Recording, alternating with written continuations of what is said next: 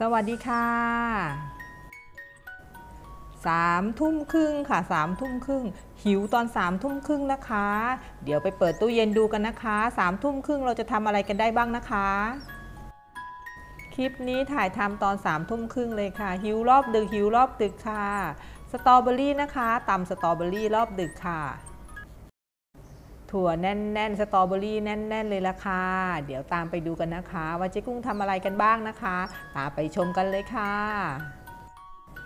วันนี้วันนี้เจ๊กุ้งเปิดตู้เย็นนะคะ เจอสตรอเบอรี่ในตู้เย็นค่ะเลยขออนุญาตทำตำสตรอเบอรี่ปลาร้าเลยนะคะตำสตรอเบอรี่ใส่ปลาร้านี่แหละค่ะเปิดตู้เย็นเจอสตรอเบอรี่นะคะ ไม่รอช้าเลยค่ะ ลงมือทำกันเลยค่ะนำสตรอเบอรี่นะคะ มาหั่นเป็นชิ้นเล็กๆ พอคำค่ะ หั่นเป็นชิ้นเล็ก ๆ ชิ้นเล็ก ๆ พอดีคำเลยค่ะ เกิดอาการหิวรอบดึกก็จะประมาณนี้เลยนะคะ โชคดีมีสตรอเบอรี่นะคะ ใครมีผลไม้อะไรสามารถปรับได้นะคะ หั่นเป็นชิ้นเล็ก ๆ พอคำเลยค่ะ วันนี้ตำสตรอเบอรี่ปลาร้ากันเลยนะคะ เปิดเจอหอยจากคลิปที่แล้วค่ะ จากคลิปที่แล้วนะคะ ที่ทำหอยดองไว้นะคะนำมาใส่ในสตรอเบอรี่เลยค่ะ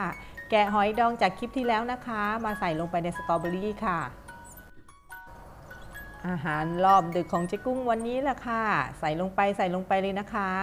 จากนั้นตามด้วยถั่วค่ะ ถั่วป่นนะคะ ใส่แน่นแน่นแน่นแน่นเลยค่ะถั่วนะคะ ตามด้วยพริกป่นค่ะพริกป่นแซ่บๆใส่ลงไปในสตรอเบอรี่เลยค่ะ ต่อด้วยข้าวคั่วข้าวคั่วค่ะข้าวคั่วแนะนำให้เป็นข้าวเหนียวนะคะ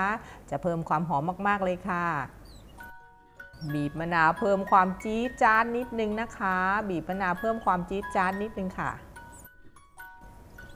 ตัดความเปรี้ยวด้วยน้ำตาลทรายปลายช้อนค่ะ จากนั้นนะคะต่อด้วยพระเอกของเราค่ะ น้ำนัวน้ำนัวนี่แหละค่ะ ใส่ลงไปใส่ลงไปเลยค่ะ แค่นี้ก็เป็นอันว่าเรียบร้อยแล้วนะคะ คลุกทุกอย่างให้เข้ากันเลยนะคะ อาหารของเจ๊กุ้งคืนนี้ละค่ะ กว่าจะได้ทานสี่ทุ่มพอดีเลยค่ะ เกิดอาการหิวรอบดึกนะคะ ถั่วแน่นๆ ถั่วแน่น ๆ เลยละค่ะ ขอบคุณสำหรับการรับชมนะคะ หิวมากๆแล้วละค่ะ ขอตัวไปทานก่อนนะคะตำสตรอเบอรี่ของเจ๊กุ้งนะคะ แล้วพบกันใหม่คลิปหน้าค่ะ คลิปนี้เจ๊กุ้งต้องไปแล้วละค่ะ สวัสดีค่ะ